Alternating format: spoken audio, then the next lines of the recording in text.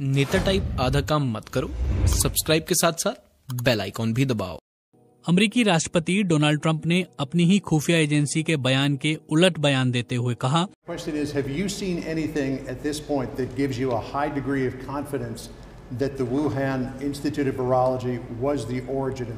is? Yes, I have. Yes, I have. And I think that the World Health Organization should be ashamed of themselves because they're like the public relations agency for China. And this country pays them almost $500 million a year, and China pays them $38 million a year. And uh, whether it's a lot or more, it doesn't matter.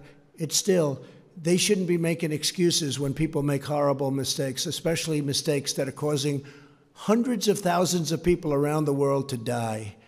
I think the World Health Organization should be ashamed of themselves. Corona virus चीन की lab में बना है और उन्होंने इसके सबूत देखे हैं।